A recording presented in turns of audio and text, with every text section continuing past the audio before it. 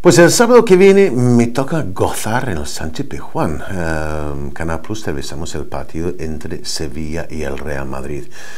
Mis amigos de Big quieren saber cuál es mi pronóstico. Bueno, uh, no es tan fácil hacer un pronóstico en estas fechas. Quiero decir que en los primeros compases de la, de la temporada, históricamente, los grandes equipos ceden puntos, ¿no?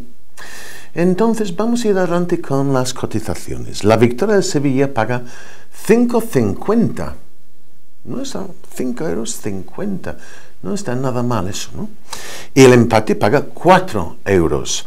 Y la victoria de Real Madrid paga relativamente poco, ¿no? 1,56. Porque no sé yo si el Real Madrid está todavía funcionando a tutti pleno. No, yo pienso que todavía está pues con aquello del bronceador todavía puesto y cualquier cosa puede pasar.